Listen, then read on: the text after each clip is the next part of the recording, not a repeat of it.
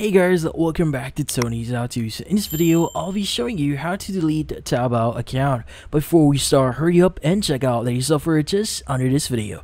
So let's get started. This case, how do we delete our Taobao account here?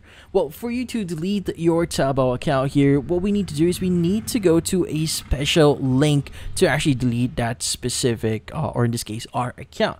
So in this case, we'll be linking that link at our description. Make sure to check that out. So in this case, the link is going to be the passporttaobao.com here which in this case by the way if you're having troubles on uh, viewing the site itself on a different language we actually have a tutorial that you could actually use or follow to convert the website into english. But in this case in the account center here or in the passport.taobao.com we have the option to choose why we want to cancel our account or the registration account section. In this case go and answer appropriate here so whatever uh, you want to say. So for example maybe i want to say i want to uh, basically I feel my account is not safe or in this case you can answer whatever mine.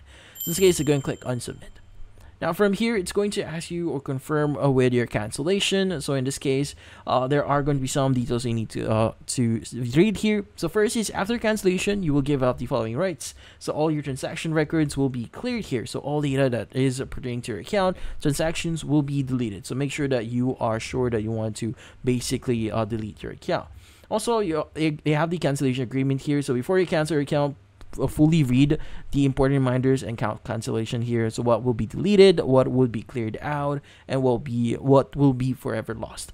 Also, your identity information, account information, and Tmall points, Taobao coins, and other membership rights will be cleared and cannot be restored. So if you later on, if you want to restore your account, you will not be able to uh, basically restore that. But in this case, what you need to do is just click on agree here, and that would actually delete your account, and in turn, basically, uh, basically delete your account and any data that is associated to that. But in this case, that's about it. So, if you found this video helpful, hit the like and subscribe button and like or watch our next video.